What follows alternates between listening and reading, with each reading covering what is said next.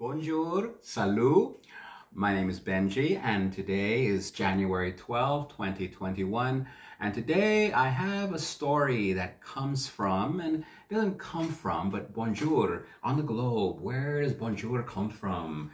Bonjour comes from the country of France, right here in Europe. And we'll put, we'll hang, we'll hook up France right here. The story doesn't originate in France. Today's story is an event that happened in France. And the story that I have for you is a story about Christmas. Now, for all of us, Christmas has, has just passed us. Uh, and one of the images that is always with us during Christmas is this scene, the nativity scene. Now, there is another image that comes along because I have students that always ask me, Oh, Ben, why do you like Christmas?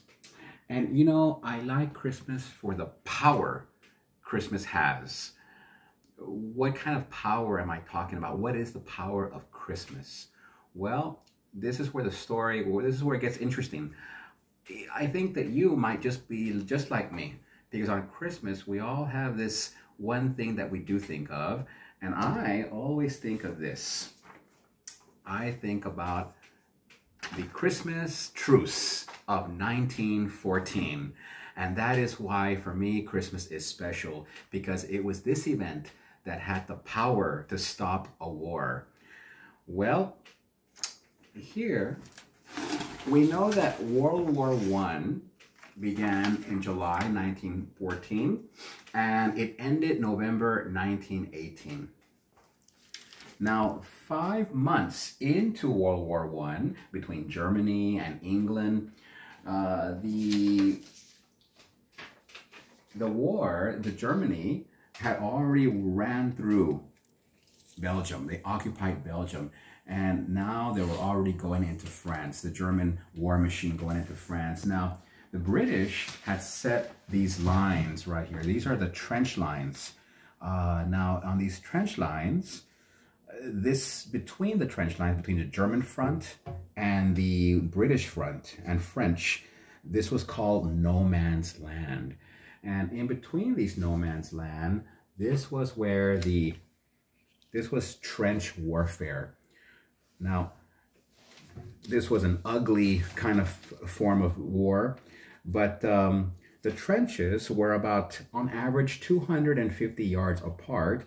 However, in some cases, they were even much, uh, much closer together, like maybe 20 yards. Some running right into each other's trenches. Now, the trenches were built, they were built in a zigzag form uh, as to prevent the soldiers, uh, enemy soldiers moving in, for them to prevent them from shooting into a straight line.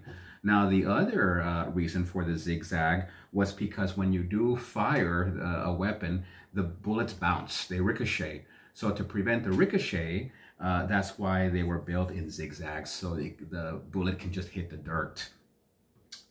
So we have down here, there's 27 miles uh, length of Ypres right under Belgium. Now, this little area was where the Christmas truce happened. Ah, so five months into the war, this was the Christmas truce. Now, on December 7th, 1914, Pope Benedict XV had asked, the Pope from Rome asked the countries, he asked Germany, he asked England, he asked France, he said, may, may all of you, may all of you, may your guns fall silent at least upon the night the angels sang. Of course, no one listened to the Pope, they just kept fighting. But this is where it gets interesting. Just then, the Germans began singing Silent Night, Holy Night, and the Germans were the first. They began to put Christmas trees on lights on their trenches and they all started one by one coming out of the trenches, beckoning, you no, the British to come out also. They said, you no shoot, we know shoot. So they all came out And this is one of the images that comes out of the 1914 truce. Now, the Germans had the higher advantage during the trench warfare because they were on higher ground right after coming in from Belgium. Uh, the thing was, was that there is plenty of evidence to support that there was a truce that occurred. They even, these guys even were photographed together eh, like this. They wrote letters from both sides of the war saying that it was an amazing thing what happened.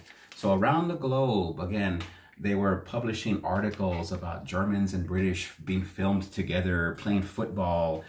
Um, and it, it must have been one of the most difficult things for these soldiers to be able to, you know, exchange gifts, exchange chocolates, cigarettes, exchange stories. They uh, used this truce uh, at a time also to collect the war dead and to repair their own trenches.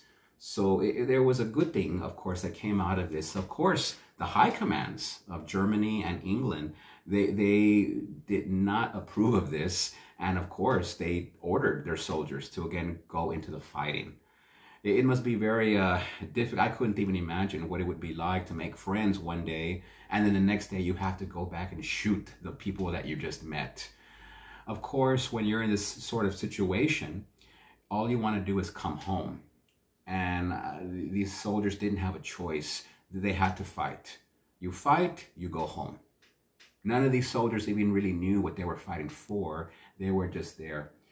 So again, that's what uh, is always through my mind. And I think, and, I, and I'm very confident that this is what runs through your mind during Christmas time too, about the Christmas truce. The power of Christmas, the meaning of Christmas is it was, it, it, it, it we were able Christmas, the thought of it was able to stop a war, at least momentarily. And that, ladies and gentlemen, is the true spirit and power of Christmas. That's why I love Christmas. Well, I hope you enjoyed today's story. It's a uh, historical story, and I will see you all tomorrow. Have a good night. Be blessed. Amen. Bye.